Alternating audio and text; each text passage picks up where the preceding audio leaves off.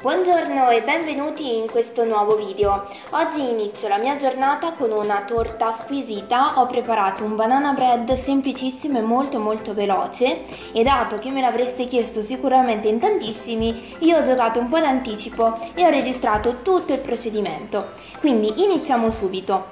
Ho messo in una grossa ciotola della farina integrale, vado ad aggiungere l'olio, il lievito, aggiungo le banane schiacciate, il miele, l'uvetta e inizio a mettere il latte, lo andrò a mettere in due volte. Tutti gli ingredienti, tutte le dosi le trovate scritte nella descrizione, quindi finisco ad aggiungere il latte, mescolo bene e posso eh, mettere in uno stampo coperto di carta forno. A questo punto non ci rimane che infornare a 180 gradi per circa 30-40 minuti. Fitvia mi ha inviato il nuovo set, guardate che carino a forma di limone in silicone, molto molto simpatico. E abbinata c'era anche la tazzona nuova, quindi ho approfittato e l'ho subito provato eh, facendo il solito tropical freddo, quindi come sempre quando vado a fare il tè freddo vado a scaldare. Un po' di acqua, non ne metto troppa, in un pentolino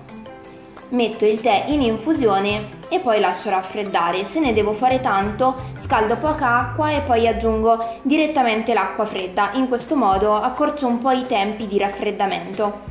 E come sempre trovate scritto il codice sconto che trovate anche nella descrizione. E voilà, la mia colazione è pronta, super energetica. Iniziare eh, la giornata con il banana bread secondo me è un regalo meraviglioso che possiamo farci perché è un dolce molto buono, sano e davvero nutriente.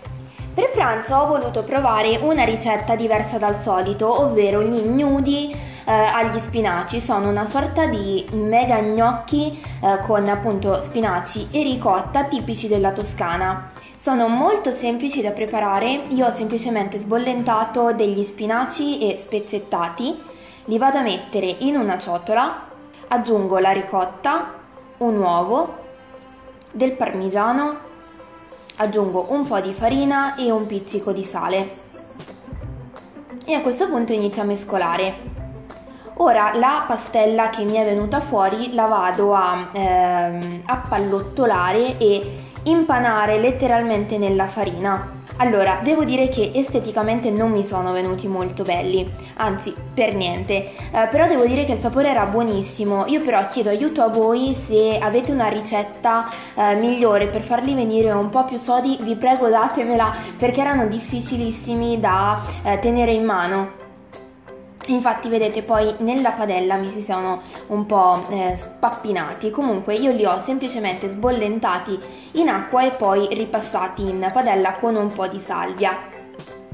Come vi dicevo, alla fine il sapore era squisito, erano davvero buonissimi, però eh, esteticamente non mi hanno convinto molto, quindi aspetto le vostre ricette, aspetto i vostri consigli.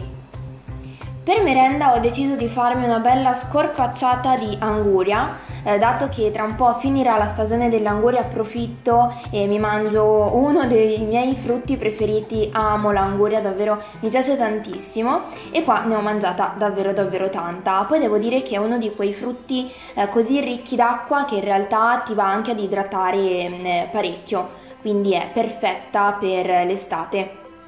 Siamo arrivati alla cena e oggi per cena ho fatto qualcosa di leggero e molto gustoso. Ho preparato un plum cake alle zucchine, semplicissimo, eh, poi vi farò vedere come l'ho preparato. È venuto morbido morbido, all'interno leggermente umido e mi è piaciuto davvero tanto. Una ricetta improvvisata ma venuta molto bene che poi ho accompagnato con un pochino di pomodorini serviti eh, semplicemente da un uh, filo d'aceto e un po' di ricotta. Oggi ricotta sia a pranzo che a cena, ma devo dire che mi piace molto, quindi eh, ben venga la ricotta.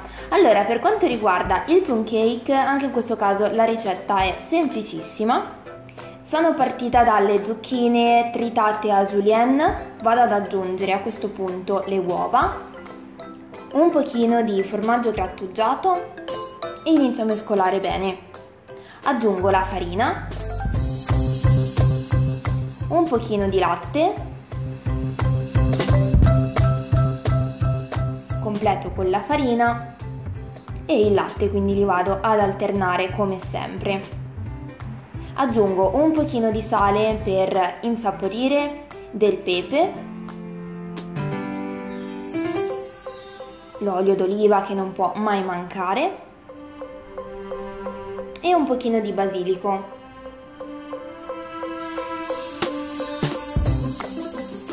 Mescoliamo bene e aggiungiamo il lievito. Il lievito, ehm, diciamo quello per dolci, ma cercate di utilizzare non quello vanigliato. A questo punto possiamo mettere tutto quanto nello stampo, anche in questo caso coperto da carta forno, e cuocere a 180 gradi per circa 20 minuti, 30 minuti. Eh, quando mm, eh, sarà cotto vi accorgerete facendo la prova a stecchino. Se lo stecchino esce pulito potete toglierlo. Ed ecco qua il risultato, un plum cake davvero morbido morbido, molto gustoso perché all'interno rimane come vi dicevo leggermente umidino, quindi non è eh, troppo secco ed è davvero molto gustoso da mangiare. Completo la cena quindi con l'insalatina di pomodori, questi sono i pomodori del nostro orto, come vedete infatti sono ehm, non perfetti come quelli che trovate al supermercato, però sono i nostri e sono biologici, quindi sono spettacolari. Ed ecco qua la mia cena semplice ma al tempo stesso nutriente e gustosa è pronta. Eh, come vedete ci vuole davvero poco in realtà per creare qualcosa di eh, diverso dal solito, diversa dalle solite cene che magari poi diventano anche un po' noiose. Io spero tanto che questo video vi sia piaciuto, se è così come sempre mettete un bel mi piace così ne arriveranno tanti altri, io vi mando un grandissimo bacio e noi ci vediamo alla prossima, ciao!